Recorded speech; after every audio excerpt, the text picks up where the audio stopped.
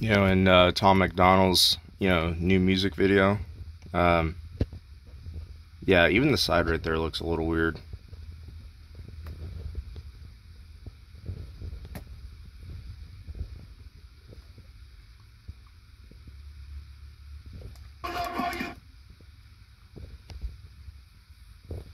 I mean, yeah, the back of the turret looks correct.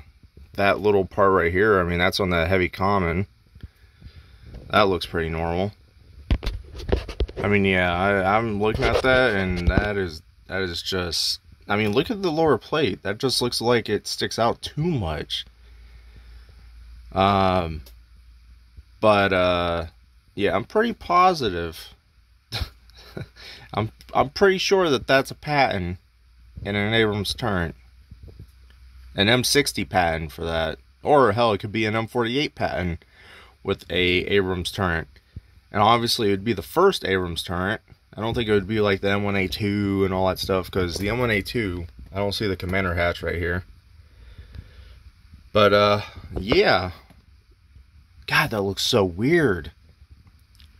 It's so weird seeing the Abrams like that. I mean, it's cursed. It's obviously cursed. It's just like the Sherman Pershing. That's cursed. But uh, yeah, that that that that just looks weird. So odd.